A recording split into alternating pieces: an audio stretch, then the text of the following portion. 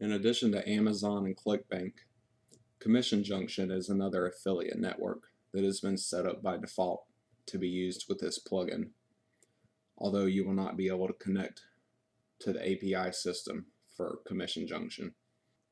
You will need to retrieve the site ID for your Commission Junction account. This will be entered in as your affiliate ID in the plugin settings. This ensures that you will get credit for any sales that you refer.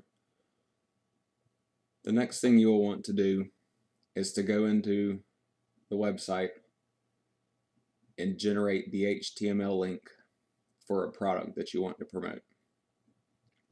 I'm just going to choose one of my existing vendors here and I'm going to pick an ad.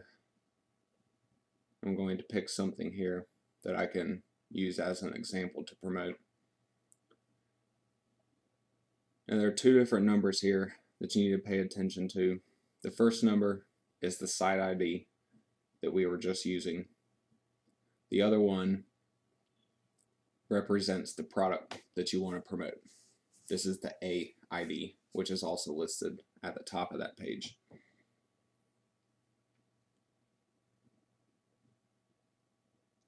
You will need to create product information for your advertisement, just like I have done with the ClickBank ad previously. This product information is optional, but it will allow you to show extra text or whatever you want to tell your website visitors about the product that you're promoting.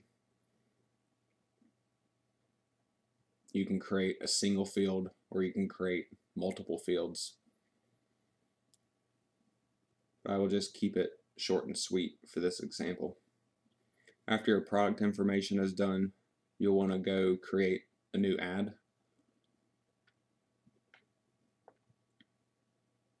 This ad controls all the settings and it also connects your style and your product information together. Enter in the product ID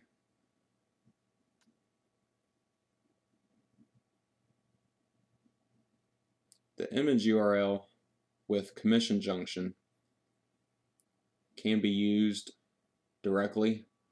You'll want to copy it straight from the HTML code.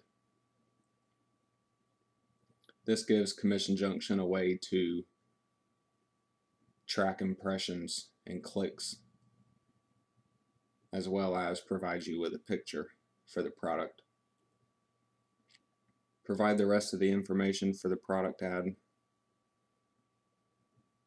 and you can preview it at the bottom of the page to see what it'll look like.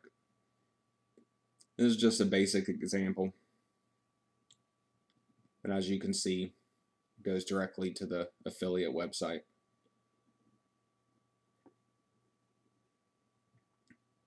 Once you're done with the ad, save it and then you can insert it into the system just like any other ad.